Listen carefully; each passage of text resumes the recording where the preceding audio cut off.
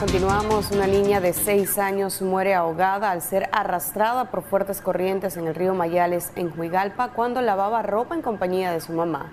Nuestro corresponsal Marvin Miranda nos tiene el reporte completo.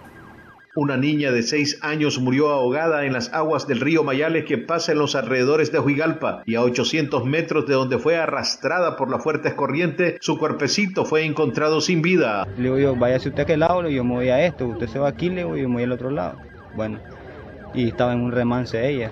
Yo miré donde estaba ella, así boca abajo. La niña era originaria del barrio San Antonio y había llegado al río con su madre la que estaba lavando una ropa al momento de la tragedia. Como Comupred lo primero que hacemos es coordinar con los organismos de primera respuesta, en este caso nuestra Policía Nacional, los bomberos, la Cruz Roja, que son los abocados en este caso.